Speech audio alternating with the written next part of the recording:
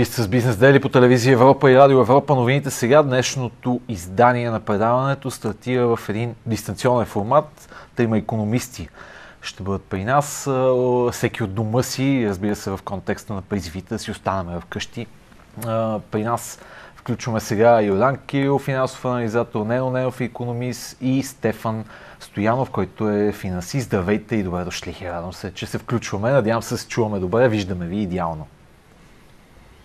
Здравейте. Здравейте. С който се чуваме, с него започваме. Отначало, разбира се, няма как да не обхванеме актуалната тема, свързана с коронавируса. Естествено, в контекста на нашето предаване я пречупваме през финансовата, економическата призма. Мерките в подкрепата на економиката по света са изключително агресивни, не чак толкова агресивни, колкото такива наблюдаваме, разбира се, у нас, но несъмнено е важен анализаторския прочит и изобщо картината да бъде дискутирана в контекста на това как економиката ще се възстанови след всичко това, защото да, Имаме една криза, която е свързана с здравеопазването, вероятно в този аспект, но в този момент, но това нещо ще премине, дали ще бъде след един, два, три месеца, естествено няма никакво чак толкова голямо значение. Може би по-важното е в крайна сметка и как ще излезем от тази криза на нейния финал. Вие, анализирайки всичко това, което наблюдаваме като мерки глобално, економически, какво можем да, да дадем като анализ и като, пред, пред, като предписание, естествено, поглеждайки към ситуацията у нас, която несъмнено е доста по-различна. Ние нямаме възможност да използваме голяма част от мерките, която примерно използват държавите от еврозоната, но пък също времено и ние се опитваме да използваме различни мерки. Как четете картината? Да започнем с Нено Ленов. Ами в момента всъщност нещата, които могат да направят правителствата си, най-лесно могат да освободят фирмите и гражданите някаква форма на данъчна вакансия, по този начин да отложат във времето а, такива плащания. Освен това, наред с а, а, сроковете, които идват вече за фирмите за подаването на корпоративен данък, с, декларациите на физическите лица също могат да удължат а, тези срокове. А, тъй като знаем, че в момента от тази година всъщност действа новата система на НАП, в което граждани вече декларациите са автоматично попълнени, но там съществуват още редица на уредици, които а, търпят развитие. В тази връзка мисля, че по този начин а, държавата би могла да помогне на бизнеса под една или друга форма. Юдан Кирилов. Така, според мен, а, мерките, които трябва да се вземат на трябва да бъдат много балансирани между а, това да запазим населението здраво и цялата здравна система да функционира и от друга страна обаче да не спира бизнеса, защото в момента голяма част от българския бизнес е в пълен ступор. И говорим за бизнеса, който въобще функционира.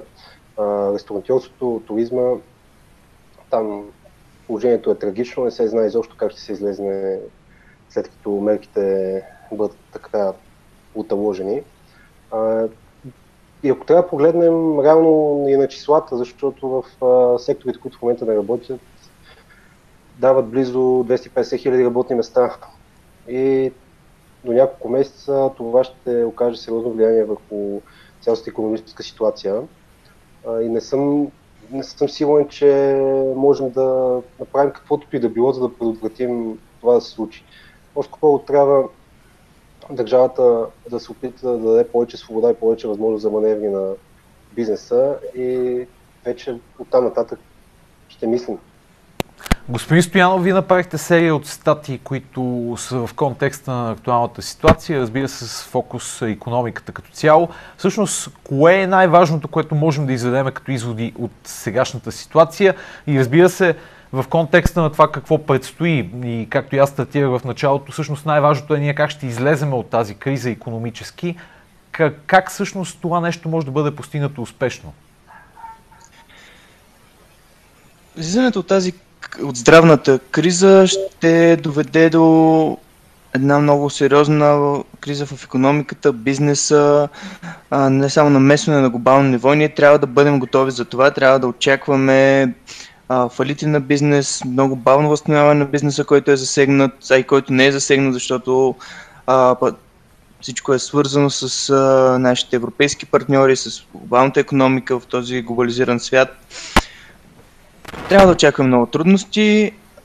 Изводите, които може да се направим за сега, е, че на първо време нашата държава е напълно неподготвена за такава криза с економически мерки.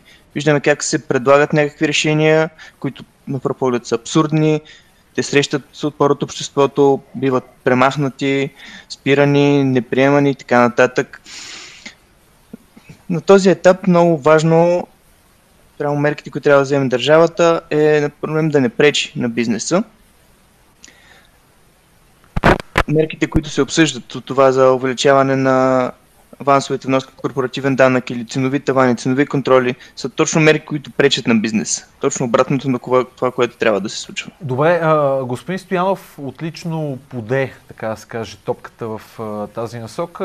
Аз и това исках и да обсъдим сега. Част от мерките, наистина, които бяха предлагани в последните дни, са меко казано спорни от гледна точка на економическия прочит, но пък също времено поглеждайки към това дали звучат добре за населението. Да, несъмнено е така. Една от тези мерки е таванът на цените за стоки и услуги. Този таван не би следвало в рамките на последните 3 месеца да надхвърля с 20% това, което сме имали като средна стойност. Поне такава беше идеята първоначално на, на мерките. Всъщност, защо в условия на една подобна ситуация, когато ние имаме една несъмнено така, кризисна, кризисна ситуация, една подобна мярка да не влезе в сила. Защото да, същевременно ние отиваме в аптеката и виждаме, че да кажем дезинфектанти, маски или други подобни неща, които ние изключително много търсиме в момента, са на изключително високи цени, такива каквито ние никога не сме наблюдавали в миналото. Ако сега, примерно, една маска, грубо казано, да струва лев и 50, тя преди е струвала примерно 10 стотинки, 20. 20 стотинки. Това някои хора го разглеждат като спекула. Защо тази спекула да не бъде решена и забранена със закон? Вие как гледате на тази ситуация, господин Ненов? Със сигурност има някаква спекула, обаче а, същевременно таван на цените, върху която и да е стока, то се говори за стоки от първа необходимост, тези, които са в потребителската кошница, са от първостепенно значение.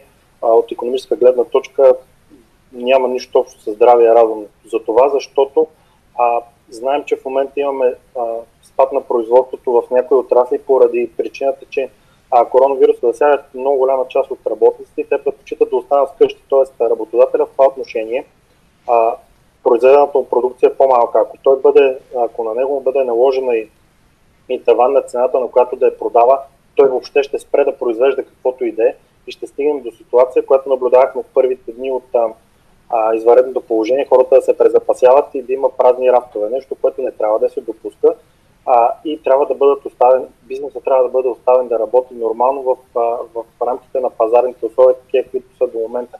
Разбира се, че има а, даден вид спекула, затова има и контролни органи а, и механизми, които да се следи за спазването, що се касае нали, вече до маските, дезинфектантите и така нататък. Господин Кирил, вие се занимавате с частен бизнес, всъщност една подобна мярка, ако влезе в сила, тя сериозно би ударила вашия бизнес.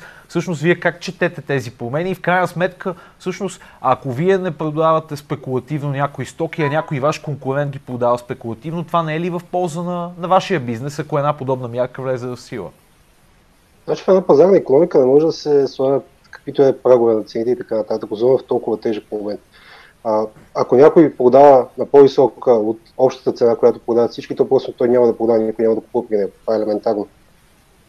Отделно да се слагат някакви ограничения на бизнеса във време, в което точно бизнеса къпи държавата, защото държавата няма други приходи, освен от а, бизнеса. Това всеки го знае.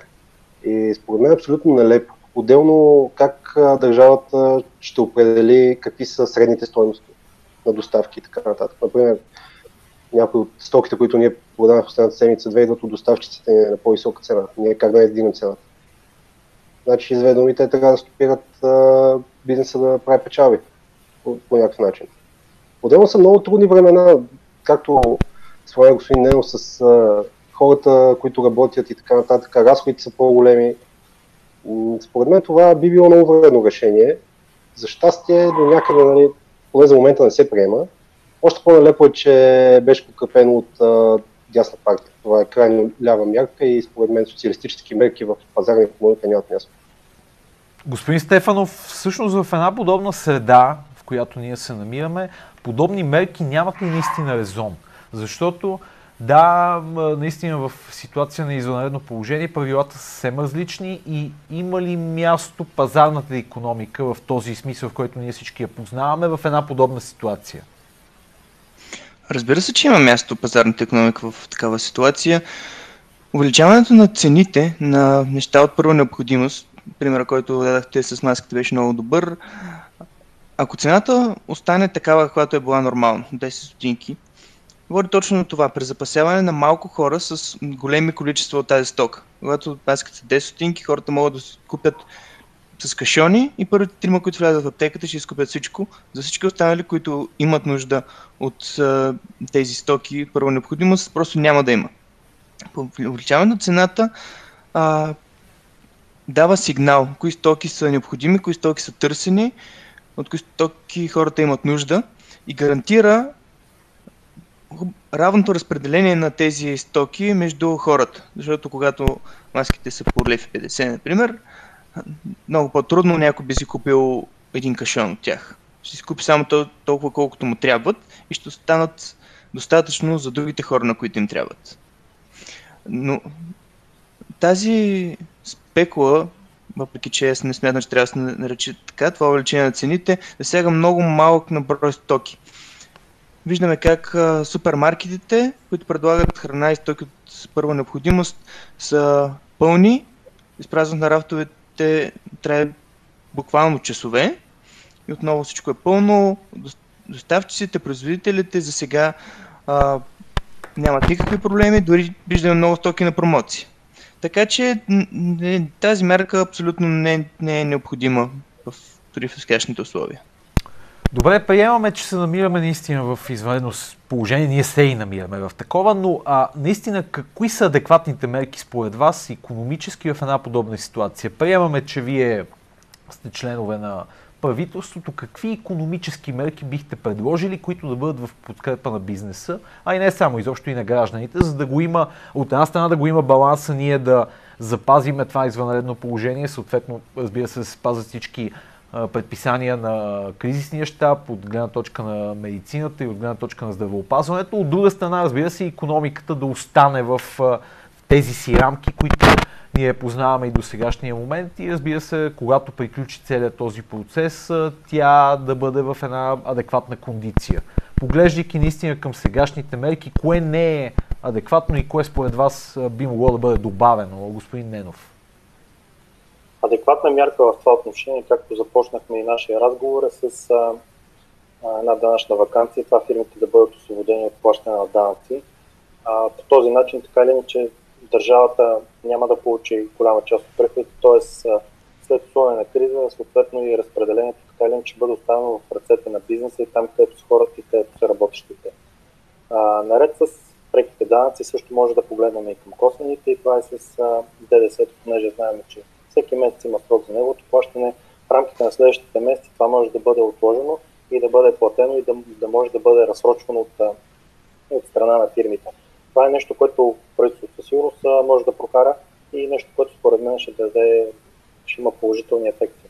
А, що се касае до негативните мерки на това, което а, може да предложи правителството е то да затваря определени бизнеси и да не позволява на тяхното функциониране в условията на криза. Защото а, при една, както знаем, българския бизнес не оставя много голям а, буфер а, с това да оперира със свободни средства, съответно много от бизнесите ще претърпят крах. От това следва вече и мерките, правителството ще предприеме мерки съответно за справянето с безработицата, мерките с заето, т.е.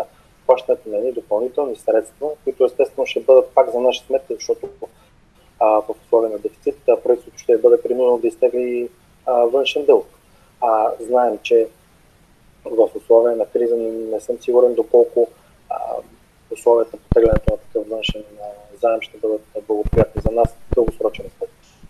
Тук слагаме една кратка пауза. След малко продължаваме към втората част на предаването, когато а, ще продължи нашия разговор с Нено Нено, Стефан Стоянов и Йордан Кирилов.